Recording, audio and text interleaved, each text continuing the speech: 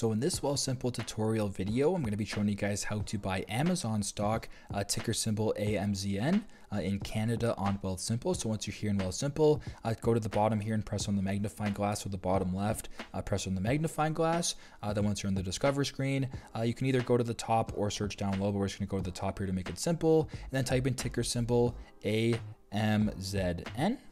Once that is done, uh, go ahead and, and, press on this one that says options beside it. So AMZN, uh, which is Amazon.com Incorporated on the NASDAQ. Uh, once that's done, you can go ahead and press on buy at the bottom and then press on stocks um, as opposed to options. Now, uh, once you're in this screen, type in the amount of money uh, you wish to invest into Amazon. So I'm just going to go ahead and press on $5 for this demonstration. And once I'm done, I'm going to press continue.